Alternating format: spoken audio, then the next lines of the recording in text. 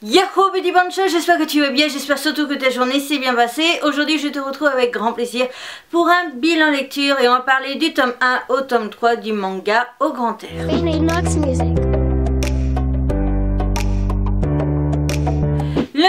Au grand air est un manga toujours en cours en France et au Japon. En France, nous avons eu le tome 6. Au Japon, nous sommes au tome 8, toujours en cours. La série des éditions de Nobi Demi dans le genre comédie étrange de vie. La série date de 2015 au Japon et de mai 2018 en France pour son premier tome. Et la série H conseillé aux 10 ans et plus. Pour ce qui est du mangaka, nous sommes avec le mangaka Afro et il me semble que l'auteur a écrit autre chose, mais je ne suis plus trop sûre. On attaque avec mon avis sur la qualité des couvertures, je te dirais tout simplement que ça a été un méga coup de cœur. Plus l'extérieur, les jaquettes, que la couverture solide, mais euh, on est sur quelque chose de magnifique. Et en plus, ça rajoute quand même des points parce qu'on a des pages de chapitres qui sont juste divines. Pour ce qui est des illustrations à l'avant, je les trouve juste parfaites, elles sont divines, elles sont magnifiques. J'adore le haut grand air, le titre qui est en matière en fait brillante avec le chiffre les petites étoiles et le chiffre sont en matière brillante, le reste est en matière mate. Ce que j'aime, le logo de Haut Grand Air, le grand avec la toile de tente, je trouve ça parfait, la petite référence. Euh, quand on regarde l'arrière, on a fait à peu près la présentation de la même façon, c'est-à-dire qu'on a euh, les espèces de petits triangles qui vont entourer le résumé du volume, c'est plutôt sympa. La petite bannière aussi avec les petits triangles, les petites guirlandes tout en bas, des magnifiques illustrations de jaquettes, elles sont parfaites, elles sont divines et je les adore. Quand on enlève la jaquette, là je suis sur le tome 3, mais c'est histoire de te montrer, on a toujours un petit bonus ici. Alors ça complète pas la, ça complète pas tu vois la, la jaquette. C'est pour ça que je ne l'ai pas montré tout à l'heure en face table parce que ce n'est pas la même illustration. Là on voit qu'on est de jour là on est, on est, on est de nuit. Et à chaque fois à l'arrière on a toujours la petite boussole les petits triangles marqués au grand air présentés par Afro et tome 3 voilà quand on la jaquette, à chaque fois on a une petite BD avec Inuko, euh, qui est l'une des filles, donc euh, une des trois filles euh, un peu plus secondaires à la série.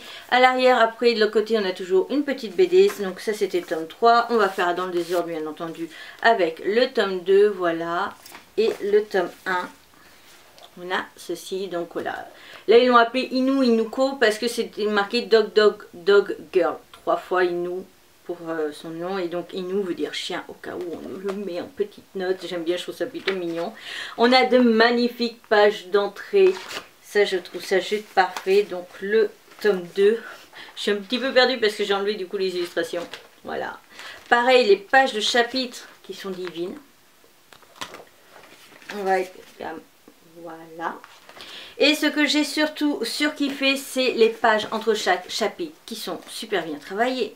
Et ça, c'est vraiment quelque chose de très agréable. Alors, à savoir qu'on a beaucoup, on a plein de petits chapitres. C'est un peu comme le manga d'ailleurs, Ma vie dans les bois. On a vraiment plein de petits chapitres. Mais je trouve ça plutôt sympa, c'est assez fun et c'est très agréable. Voilà.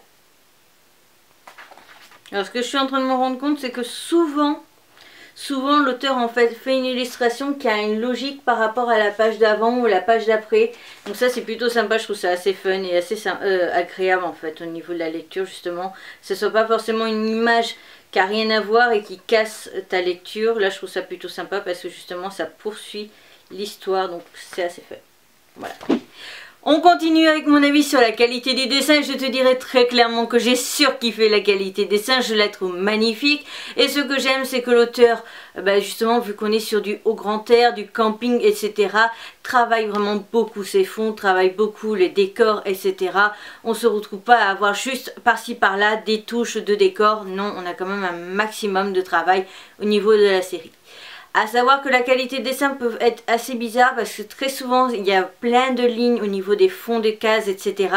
Et c'est vrai que c'est assez particulier et même là moi en re-regardant la qualité des dessins pour être sûr de savoir ce que j'allais te dire, c'est vrai que sur le coup, sur le moment qu'on n'est pas habitué, ça pique les yeux mais quand tu es sur la lecture en fait tu ne vois plus du tout ce détail.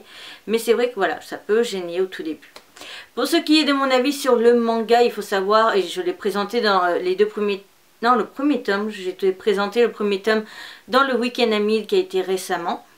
Et euh, donc, euh, je te disais justement que j'avais adoré le tome 1. Et en ce qui concerne mon avis sur les trois premiers volumes, je les ai surkiffés tous les trois. Donc, à savoir que maintenant que j'ai fini ces trois volumes, j'ai juste une seule hâte, c'est d'acheter donc euh, le tome 5 et 6 qui me manque pour les lire. Donc, moi, au moment où je filme, le tome 6 n'est pas encore sorti, mais ça va pas tarder. Donc, j'ai vraiment très très hâte. Et donc je te présenterai tome 4, 5 et 6 le mois prochain, donc euh, le 17 juin à savoir. Et donc après par contre euh, pour ce qui est de mon avis des volumes suivants, on se retrouvera à partir de avril l'an prochain. Parce que j'essaie de rester dans le thème et dans le monde du camping parce que je pense pas même en France qu'il y en ait beaucoup qui soient prêts à aller prendre une toile de tente et d'aller euh, camper en plein hiver. Je suis même pas sûre qu'en plein hiver en fait certains campings soient ouverts. Si, mais toi de temps, ça doit pas être beaucoup. Toujours est-il, qu'est-ce que j'aime dans ce manga? Déjà, le fait qu'on parle d'un truc que je ne maîtrise pas spécialement, le camping. Parce que moi, j'ai fait du... C'était caravane et après, ça a été camping-car. J'ai jamais fait la toile de tente. Donc, voilà. Alors, c'est pas parce que j'ai pris une caravane autrefois que je suis un gitan. Enfin, une personne voyageuse, tu vois, le... Voilà. Hein, c'était juste un moyen de... Voilà, c'était pas pour avoir la toile de tente, c'était pour avoir un minimum de confort sans passer par le bungalow. Toujours est-il. Donc ça m'a permis d'apprendre des choses que je ne connaissais pas, de maîtriser, de découvrir un milieu, enfin de maîtriser non, de découvrir un milieu que je ne connaissais pas. Deux, ça, euh, j'aime bien le camping, j'ai adoré l'époque euh, où j'allais au camping l'été euh, pour aller à la plage, etc. Bon c'est sûr c'était pour aller à la plage et, voilà, hein, comme beaucoup je pense, mais j'ai trouvé ça très intéressant. Trois, comme je l'ai évoqué dans la vidéo Weekend ce que j'aime c'est que c'est un peu comme ma vie dans les bois, on lit, et on apprend en même temps des choses, on lit et on nous explique et on nous donne des conseils par rapport au thème du manga. Et ça c'est quelque chose que je euh, sais apprécier énormément parce que je le redis mais je suis une personne qui aime regarder au moins minimum un documentaire euh, par euh, mois mais c'est souvent un par semaine. Donc voilà, j'adore énormément apprendre des choses, même si c'est des trucs qui me serviront peut-être pas, ça c'est clair, mais j'adore ça. Et l'histoire est plutôt sympa, les personnages sont très prenants, l'histoire est super fun. On, on, apprend des choses, on rigole, on passe une petite lecture toute douce, toute détente et c'est ça que je sais apprécier dans ce manga et c'est ça que j'aime dans cette série parce qu'en plus on a au tout début comme on voit sur la couverture deux personnages mais en fait on en découvre après et, euh, dans le volume et donc on suit les aventures de 5 personnages, 5 filles en même temps et c'est ça qui est plutôt sympa. Bon il y a une sixième qui est un peu plus du bonus mais c'est vrai que voilà j'ai vraiment apprécié cette lecture, j'ai adoré les personnages, j'ai adoré le côté comédie, j'ai adoré le vie, j'ai adoré apprendre des choses. J'ai tout aimé dans ce manga, il n'y a rien que je n'ai pas suffisamment aimé euh, dans cette série et je n'ai rien de négatif à dire. À part peut-être qu'il y a un personnage qu'on ne développe pas encore, encore tout à fait, mais ça a l'air de venir, voilà. Et puis, c'est une série qui est euh, maintenant assez longue, hein, quand même 8 tomes, donc ce n'est pas très gênant. On a déjà commencé à développer deux personnages au tout début, on a développé un peu plus ces deux autres, et donc voilà, ça se fait progressivement, mais c'est très intéressant, c'est très prenant, et je surkiffe cette série. C'est un peu plus long à lire par contre que je le pensais, mais c'est pas très grave parce que j'ai vraiment adoré lire cette œuvre et je te la recommande.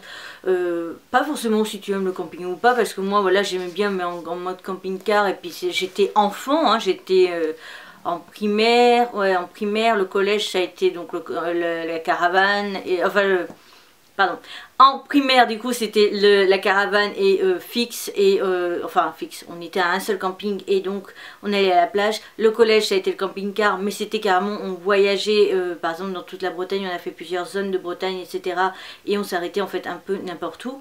Donc voilà, c'est pas du tout du camping en soi. Et voilà, moi, être sous une toile détente, honnêtement il faudra vraiment me prendre par les sentiments et arriver à me manipuler comme pas possible pour que j'accepte un jour d'aller sous une toile de tente. Hein. Donc, voilà, donc c'est bien pour ça, j'insiste, j'aime pas du tout l'idée du camping en soi, j'aime pas du tout l'idée d'aller sous une tente et de dormir sous une tente et compagnie. En plus là, le font principalement vu qu'on est en hiver. En hiver, l'idée de me les geler, euh, ça passe pas du tout. Mais vraiment, la série est géniale, est au top et je te la conseille à 1000% si tu ne l'as pas encore essayé. La vidéo est donc à présent terminée, j'espère de tout mon cœur que cette vidéo t'aura plu. Si c'est le cas, n'hésite surtout pas à me le faire savoir en like, en commentant ou même partageant cette vidéo. Je t'invite bien entendu en commentaire à me dire justement si toi tu as déjà fait du camping et quelle est ta team. Est-ce que tu es team toile de tente, euh, justement caravane, camping-car, euh, bungalow, je crois que c'est comme ça ça s'appelle les cabanes, les maisons quoi en fait en bois. N'hésite pas à me dire tout ça, n'hésite pas non plus à me dire si le manga euh, tu le connaissais ou pas, ce qui t'intéressait ou pas du tout, est-ce que je t'ai donné envie de le lire ou pas du tout non plus?